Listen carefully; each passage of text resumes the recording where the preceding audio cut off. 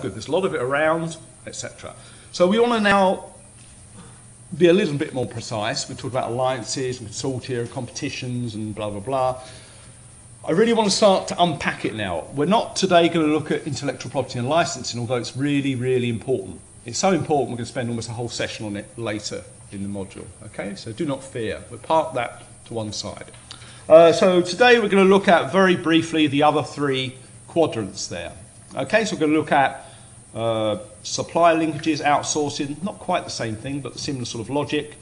And we'll look at different forms of relational collaboration, and we'll try to make a distinction between alliances and joint ventures, because how you manage them is sort of subtly different. Okay, so we're sort of trying to be a little bit more specific about what flavour, if you like, of open innovation that we're trying to manage here. Okay, so if you like, the most common one, not necessarily the simplest, is a sort of um, uh, a sort of vertical supply relationship. You know, almost any organization, certainly any business, will have it maybe a very simple one, an input from somewhere, but often it's multiple inputs. Yeah, logistics, multiple components, services, and such like. So you have some sort of supply network or chain depending on the nature of the business. Uh, and sometimes that can spread to things like products and service development. You'll work with some of those partners, what is possible. And there are classic examples where most of the innovation happens in the supply chain. So things like um, the food industry. If you look at the food industry um, empirically, then you find that most of the innovations about storage, packaging, uh, logistics happen and originate from suppliers, not from retailers, not from users. Okay, so it's a particular type of um, uh, use, um, supply chain innovation. Okay, now typically, I say typically, these tend to be relatively short-term relationships, maybe with the exception of certain sectors like, say, consumer durables. So Korean, Japanese car industry tend to have slightly longer-term relationships, but even those are much shorter than they used to be uh, before. Uh, main reasons are to sort of get specialization so you can drive down cost in the supply chain and to reduce lead time. Often there'll be sort of uh, parallel working. We saw in the case of Zara, you'll have short supply chains that you can respond very quickly to fashion changes, for example. Uh, the downside, so-called transaction costs. Now, in economics, those who've done economics, transaction costs is a very specific uh, theoretical um, idea, concept, whatever you want to call it. Empirically, it's not great. Okay, but we use it more broadly here about, if you like, the general grief of working with other organisations. So although we argued earlier that it has certain um, reductions in uncertainty and potentially increases in efficiency because you focus on the things you're good at, yeah? So you had both efficiency gains and uncertainty reduction, excellent. We're saying the downside is you need to balance that against the additional, if you like, costs and burden of working with other organisations. Okay, so things like they may rip you off, they may charge you too much if it's not a real market. Yeah, they may not deliver. I don't mean deliver. It may not actually they don't deliver, but they may not, if it's product development, deliver the specification. So there's a whole bunch of things, sometimes hidden, sometimes explicit. So we need to balance the two up. Licensing we're not going to talk about today in any detail, spend a whole session looking at IP, but I'd argue um, it's an intermediate stage. It tends to have a specified term, as we'll see when we look at that, and then you negotiate things like the scope, the geographical scope, product scope, and such like. We'll spend a session looking at that. Uh, consortia tend to have a limited period also, and you see that often the rationale is to have either shared early pre-competitive research. If you look at most European programs, for example, Horizon 2020 framework program, which is much older than Horizon 2020, at least in theory, these are pre-competitive. So the idea is that you bring organizations together, not necessarily companies, it can be universities, uh, commercial research organizations in, in some sort of consortia, uh, but temporarily and often in a pre-competitive stage. And the idea is then subsequently they will go their separate ways and then differentiate and compete in some uh, end market. Okay. Uh, other reasons for consortia um, are things like Open Handset Alliance is standard setting. Yeah, so you can create a bigger market and also create uh, a new market for complementary products and services. So standard setting um, is a, a very common rationale. Often competitors will get together at least temporarily to do that.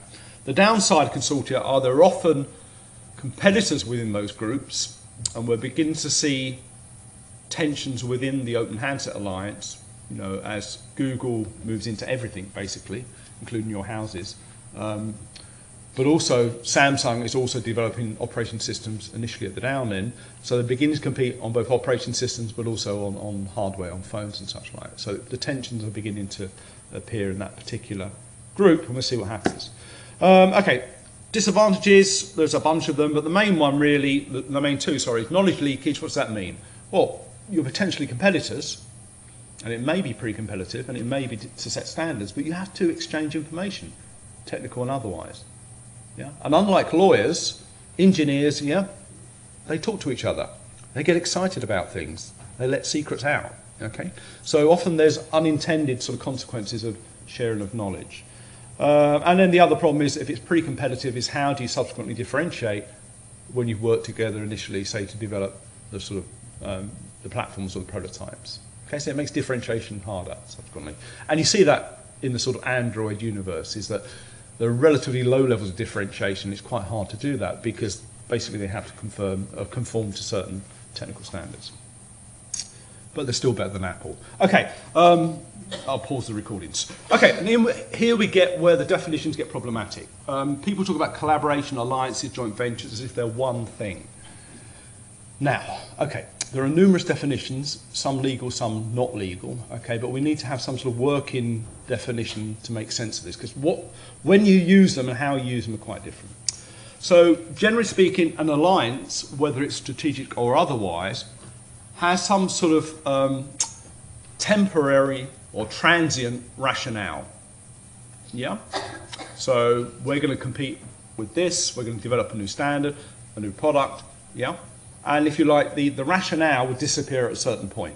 The competitor disappears, you produce a competing standard, okay, and then the rationale starts to evaporate. So they tend, tend to be um, not a fixed duration, but a sort of objective-based duration. You know, when we've developed a standard, when we have competing product, when we've entered this new market, when we developed a prototype, and that's sort of, you know, a movable target. But once that target's achieved, often the partners go their separate ways, okay? Um, a joint venture usually has a more formalized, um, a more relational basis. Okay, and the main, is that true? Yeah, the main two types of joint venture are prescribed. So one is contractual. So you literally get a bunch of lawyers and you sit down the partners with the lawyers and they write out a partnership agreement. Sounds easy? It isn't. Okay, well, we had a company, and it took us a year and a half to agree a partnership agreement with one other company. and lots and lots of lawyers' fees, yeah. It can be very time consuming, lots of trade offs and, and bargaining and such like. You're trying to anticipate almost every eventuality, including competing with each other in the future. Yeah? So it's a very expensive, time consuming, and potentially antagonistic process. So that's a contractual um, joint venture. Okay, and that'll specify who, the terms, and what happens. One partner does this and that, and that's why it gets very time-consuming and legalistic. The other is um, uh, some sort of equity-based organisation. You get combinations of the two. So you might have, you might share some sort of um, uh, equity between your companies if you're quoted, or your private companies with, with share stock. Uh, or you might have some sort of exchange of directorships and such like. So some more sort of relational basis. But what they have in common is they tend to be more long term than alliances. Alliances tend to say, we've got to do this, and often we've got to do it quite quickly. And once we've done this, we can, we can uh, basically move on. Yeah? So alliances tend to have a very specific, singular objective. And if that's achieved, or even if it's not achieved, then the partners go their separate ways. Joint ventures, whether they're contractual or some sort of equity or director based ones, tend to be more durable, partly because they're more time consuming to set up, but also they're more relational. Often they have multiple objectives. Okay, it's not just we're going to have this standard or we're just going to develop this platform. It's often we're going to work together to do this thing. Yeah? And this thing could be quite a big thing. Yeah? A whole new business, for example. Okay. yeah. Um, and networks are really, um, what's the expression? Aggregations of all those things. You know, if you look at any real organization that's been around more than a few years and you draw it in the middle of your, your sort of network, and then you start to say, well, who do they work with? And then you map out their suppliers, Then you might map out partners they work with. You might map out licensing agreements they have, both inbound and outbound. And you end up with a huge, literally a network of relationships, really quite quickly. Okay? So a network often is all of these things and more. It's more because there are often unintended consequences. Because yeah, the network can then constrain you on what you can do, but it also presents opportunities that weren't originally planned in those relationships. Okay, so the thing about networks is they're so-called emergent properties. A bit of jargon, but you'll hear it. So emergent properties simply mean you didn't plan for it. Okay, some of them are good, some of them not so good. Okay, because they're aggregations across time of all these types of relationship. Okay. Uh, the simplest one, I think, is the supplier one. It's not the most, it's not trivial by any means, but it's the most common and probably most researched type of relationship. Most of the stuff that you'll see in terms of um, research on this is down, really down the bottom left-hand corner. Yeah, bottom left-hand corner. And the sort of where you have a clear, um, often homogenized input, could be a product or a service. In other words, you have competition between suppliers. And then the question is how do you, if you like, engender that competition to drive down costs and to increase the power in negotiation. And you see that in sectors like retail, yeah, where there are often several competing um, inputs, if you like, with very similar offerings and not highly differentiated. And therefore, they tend to compete on price and sometimes things like delivery and, and stuff like that. And that's the sort of bread and butter of supply chain management. And there's things like you know, queuing theory and that. In terms of innovation, you move up that, if you like, that sort of value chain diagonally to the right.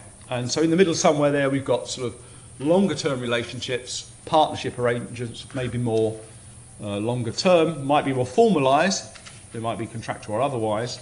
Um, and you see that where, in particular, there's something beyond simply producing inputs to products and services. So it might be co development, for example, uh, of a new product or a new service. So where you start to get in the innovation area, it tends to go move away from a simple market relationship. Okay, it tends to be a slightly more uh, contractual or relational in the sense it moves towards that centre ground. And you see that in areas like uh, the car industry, uh, we said already the food industry, uh, where you have a much closer relationship with a subset of the supply base for the purpose of innovation. Yeah? So if you look at companies like um, uh, Marks and Spencer's, has had very long-term relationships with companies like Northern Food for innovation in, in, in foods. You might have guessed that part, yeah. Um, with DuPont in terms of materials and fabrics, okay, different properties. Very long-term relationship, very successful one, such like. Okay. Uh, and then the sort of top right-hand one are, you know, sort of, um, if you like, less sort of um, permanent um, and more scouting, and searching for um, potential partners. It's more like a sort of lead user uh, approach. So it's more like the sort of searching, we want to develop X, who could work with us to co-develop X? Whereas the one in the middle is more relational. Yeah, we've worked with Northern Foods for 25 years, DuPont 15 years, been successful, you know, why bust it? Okay? So different, if you like, sort of intensities of, of collaboration as you go along there.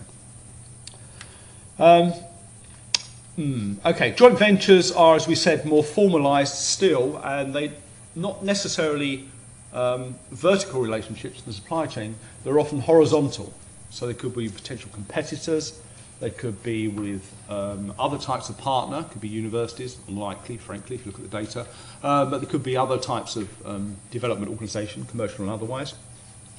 And we go back to that idea of complementary assets that we spoke about when we looked at strategy and such like. So a lot of the rationale in collaboration for the purpose of innovation is trying to get those complementary sort of capabilities or assets to work together. Okay, so whether it's sort of you know, the sort of example Chrysler and Fiat or Airbus, at least one of the rationale in each of those types is to access those complementary capabilities. So the idea is, you know, you can't do it internally yourself because you don't have all those capabilities, but acquisition generally is too expensive or uncertain. In the case of Chrysler, they went the whole way, um, presumably not very clever. Uh, and there is an intermediate stage, which we'll talk about next week when we look at venturing and entrepreneurship. Uh, a slightly different. But here we're talking about um, where there's sort of, if you like, a, an absence of capabilities or expertise. Yeah? So the idea is then the rationale for the joint venture is to gain access to those, but not in a sort of market transaction. Okay? Why wouldn't you just simply go down a market transaction?